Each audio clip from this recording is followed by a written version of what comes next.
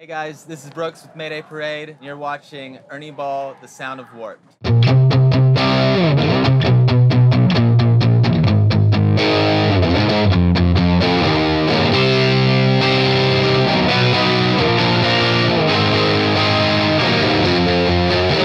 friend of the family had given us this Peavey Horizon 2 guitar. It was pretty quick after that that honestly it started started working with other kids and stuff and, and, and playing in bands. The first one was actually with Derek. I guess that's when I knew I wanted to at least play guitar. I I'm not sure if I knew professionally yet.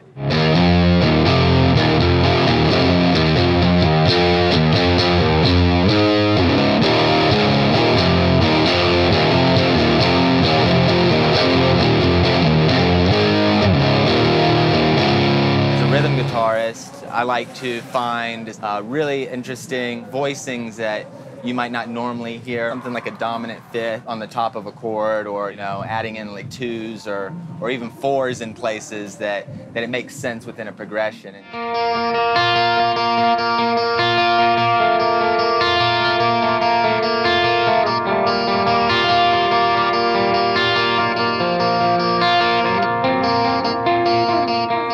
Was younger, I knew that I liked Ernie Ball strings. One of the coolest things I thought about them, especially when I was younger, was how quick you could get them stretched out and ready to go. And I started out using really light strings, and one day I decided I was gonna try and use the thickest I could get that made sense for my guitars. So I started using the not even slinkies. And that's because uh, studio and live, they have great uses because they're so thick that they don't waver in pitch. So live, obviously, you know, you get a little bit more aggressive with things. And in the studio, it's the same sort of thing, but maybe even more key in the studio. That thicker string gives you a, a fatter tone.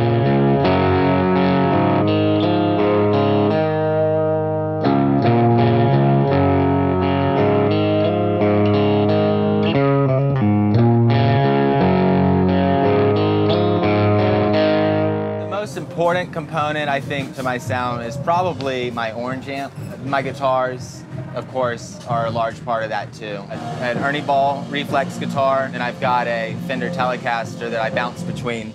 I try and set them up though so that they're similar, and I can switch out the guitars during a set and not have too crazy of a difference, even though one's a single coil and one's a humbucker pickup. This Ernie Ball Music Man uh, reflex guitar has been great road guitar.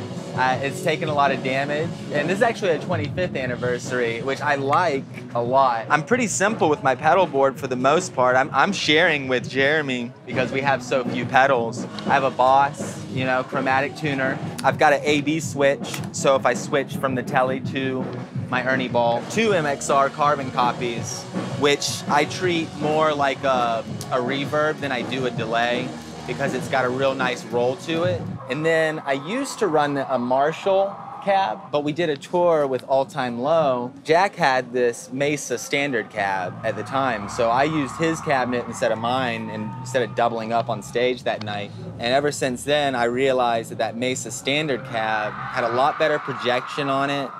It made it sound a lot better, and so I've switched to Mesa ever since then.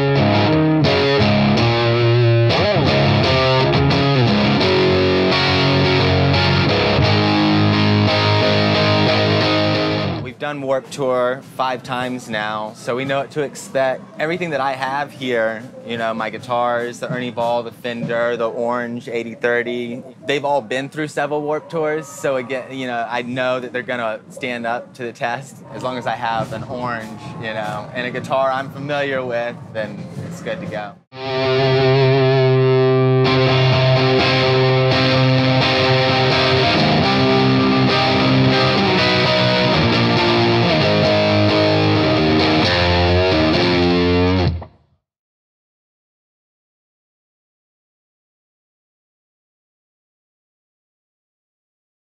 Everybody, this is Chad from the band New Found Glory, and you're watching Ernie Ball, The Sound of Warped.